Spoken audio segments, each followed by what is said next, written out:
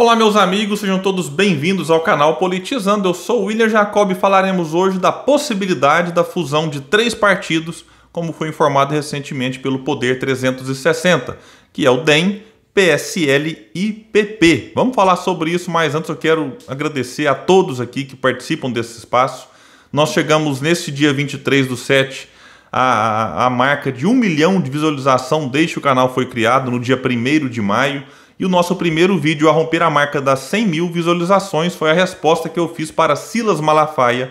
E para comemorar isso tudo, nós inauguramos o Politizando Podcast, que contou com a participação do Fabão da Massa, vereador da cidade de Uberlândia. Então, muito obrigado a todos. Quem não se inscreveu e puder, se inscreva, ativa as notificações e se gostar do vídeo, deixa o seu like. Meus amigos, então o Poder 360 anunciou que PSL, DEM e PP negociam se fundir. E que esse novo partido, caso realmente venha a, a, se confirmar, teria no Congresso hoje 121 deputados e 15 senadores. E que essa negociação estaria aí nos seus últimos, últimos estágios e o novo partido deveria ser então anunciado em breve. Eu, particularmente, olho isso aqui com algumas resistências, não sei se isso será possível, porque diante das exigências de algumas cláusulas colocadas aqui, esse movimento ele pode ser sim muito dificultado. Aparentemente, algo estaria resolvido que é em relação a como ficariam acomodados os três presidentes dos partidos nessa nova composição. O presidente do PSL, que é o maior dos três partidos, ficaria com a presidência deste novo, é, que é o Luciano Bivar. O ACM Neto presidente do DEM, ficaria com a vice-presidência e o Ciro Nogueira, que é o presidente do PP, ficaria com a secretaria-geral. Ciro Nogueira é esse mesmo que vocês estão pensando, que acabou de ser indicado ministro da Casa Civil. E aí, ao Poder 360 integrantes do PSL dizem que a fusão ainda é vista como rumor. E a movimentação é totalmente encabeçada por Bivar. No DEM, a Semineto ainda tem resistência à união dos partidos. E alguém pode pensar, puxa, mas então por que, que o DEM está aparecendo como nessa possibilidade? Sim, porque o Semineto até disse uma recente entrevista que existiu essa reunião e quem esteve lá em nome do partido foi Elmar Nascimento. E o ACM Neto trata tudo isso como mera especulação. Diz o Poder 360 que a criação desse novo partido é esperada pelo presidente Jair Bolsonaro e que a expectativa é que ele filie-se à nova sigla e a utilize como plataforma para a sua campanha à reeleição em 2022. Agora é bom a gente lembrar, Bolsonaro está por enquanto sem partido, teve movimentos em direção ao patriotas, mas não deu certo. Especulou-se que ele voltaria para o PSL, mas também não confirmou. Falou-se em republicanos, PL, enfim. Mas o que eu consegui pesquisar aqui é de que PSL e DEM fizeram duas exigências: não filiar Bolsonaro e não apoiar a sua candidatura em 2022. Então a ideia seria de que este novo partido às vezes nem mesmo lançaria candidato deixando com que cada, vamos dizer assim, cada estado resolvesse as suas pendências internas. O Ciro Nogueira teria até aceitado esse veto, mas interlocutores dizem que ele poderá trabalhar internamente para reverter esse cenário. Isso se Bolsonaro se viabilizar. E aí, isso não é nada impossível. Alguém pode pensar, mas como assim? O Ciro Nogueira acabou de ir para a Casa Civil e vai aceitar passivamente que esse novo partido fique neutro em 2022? Meus amigos, Ciro Nogueira pode de tudo. Para quem pediu o voto para o Lula em 2018, né, chamando o Bolsonaro aí de, de nomes como fascista, que não respeita, enfim. E agora virar ministro da Casa Civil, tá no coração do governo. O outro cavalo de pau do Ciro Nogueira, ou mantendo neutralidade, ou até apoiando outro candidato para a presidência, pode se esperar. Não se surpreendam se isso acontecer. E aí, meus amigos, esses três partidos juntos teriam em 2022, se o fundo eleitoral aprovado agora junto com a LDO for sancionado por Bolsonaro, algo em torno de 2 bilhões para as eleições de 2022. Em relação ao Democratas, é bom lembrar que o ACM Neto está resistindo a essa fusão dos partidos, mas lá dentro tem uma ala muito vinculada ao Bolsonaro, que é, por exemplo, o Onyx Lorenzoni, que é o ministro que está fazendo estágio em, em, vários ministérios, né? Última vez agora ele estava como na Secretaria-Geral, e aí ele foi remanejado e recriaram, estão recriando o Ministério do Trabalho. E o que o antigo ministério dele foi ocupado pelo Luiz Eduardo Ramos, que saiu da Casa Civil para acomodar o, o, o Ciro Nogueira, membro então do Centrão.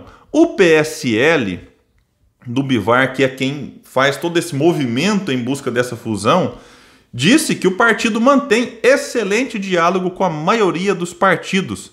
Lembrando que o PSL faz parte daquele chamado Centro Democrático, que une ali em torno de nove partidos, que se reuniu tempos atrás, que tem PSDB, o próprio DEM, Cidadania, PV, enfim, vários e vários outros, Solidariedade, MDB, em busca de um nome de consenso. E aqui ele vai falar então que o PSL mantém diálogo com a maioria dos partidos e que com a filiação do Datena, ele realmente confirma que o PSL trabalha o nome do jornalista como pré-candidato à presidência da República.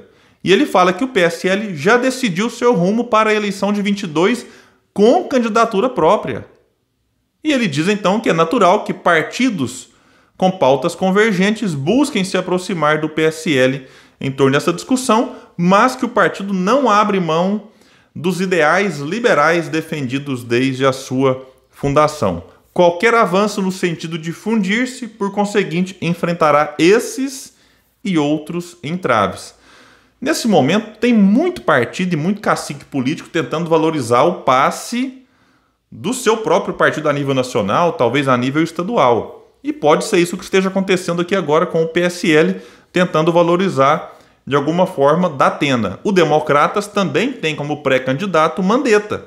E alguém pode pensar, esse aqui não seria um movimento no sentido de fazer uma chapa Mandetta presidente da Atena vice ou vice-versa? Não sei. Vamos ter que aguardar os próximos movimentos. O, o fato é que se isso acontecer, de fato, você tem uma chapa que vai atrair votos, inclusive e principalmente, eu acho, de Bolsonaro, mas não deixa de tirar votos de todos os outros. E aí vamos ver como é que se reacomodarão essas forças daqui até as eleições. O fato é que eu acho né, que teremos muitas dificuldades de ver esse desejo do Bivar se concretizando. Há, há muitos interesses pessoais, há, muito, há muitas questões regionais que precisariam ser resolvidas. Na Bahia, por exemplo, o PP tem o vice-governador do estado na chapa com Rui Costa, que é arquirrival ali do ACM Neto, que pretende ser o governador do estado. Então é necessário ter muita cautela. Claro, o PP não teria dificuldade de dar um cavalo de pau na Bahia também e pular para a chapa do ACM. Mas olha, tem muita coisa para ser resolvida, não é fácil você juntar três partidos, sobretudo porque nenhum deles corre grandes riscos de ficar na cláusula de barreira em 2022.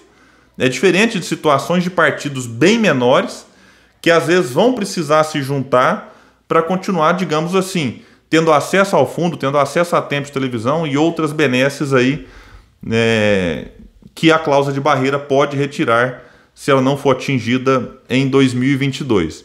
Enfim, meus amigos, essa movimentação ela mostra de uma vez por todas de que sim, existe uma, um, um movimento, nem Lula nem Bolsonaro, muito forte na sociedade, os partidos percebem, então é natural que esses movimentos e outros aconteçam neste momento para tentar sim viabilizar a candidatura destes partidos também, ou até de manter a neutralidade. Então vamos ficar atento o que eu espero é que as lideranças políticas tenham responsabilidade para que a gente compreenda que não basta trocar Bolsonaro por outro nome qualquer. É necessário trocar o modelo econômico, o modelo de governança e com todo respeito, né, diante de tudo aquilo que eu li, né, buscando informações sobre essa fusão, me parece que nada disso é dito, ninguém se fala no que, que vai fazer com a reforma trabalhista que foi feita e não gerou empregos, o que, que vai fazer com a reforma da Previdência que todos esses partidos apoiaram, o que será feito com o teto de gastos, enfim. Eles discutem nome, discutem fusão, mas não discutem aquilo que realmente interessa para o povo. Então não basta trocar A ou B, C ou D, a gente tem que trocar um modelo de se fazer política e o um modelo econômico. Se não trocar isso, olha, o Brasil realmente vai enfrentar mais quatro anos de dificuldade, mesmo que tenhamos agora que tirar realmente Bolsonaro do poder. Mas o que será colocado no seu lugar? É isso que pouco se discute e é isso que mais deveríamos estar discutindo neste momento. Meus amigos, muito obrigado. Qualquer novidade em relação a esse assunto que seja de fato importante, a gente traz aqui no canal Politizando. Um abraço.